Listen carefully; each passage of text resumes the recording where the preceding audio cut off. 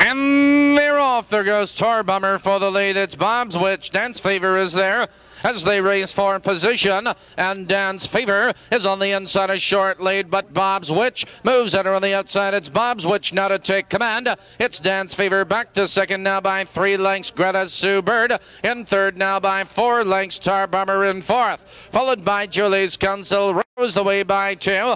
Dance Fever in second, a length and a quarter. Greta Sue Bird in third, and there goes Tar Bummer, ranging up on the outside, moving up in third, followed now by Greta Sue Bird, and there goes Julie's Council, moving to the outside, followed now by Mariah, Swiss Eris, Daddy-O's Mendy.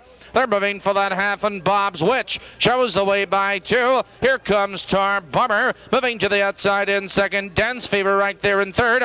One out, three and one in the race is half over. Into that clubhouse turn, and Bob's Witch maintains a lead a length and a half. It's Dance Fever getting the trip in second. Followed on the outside, Tar Bummer parked in third.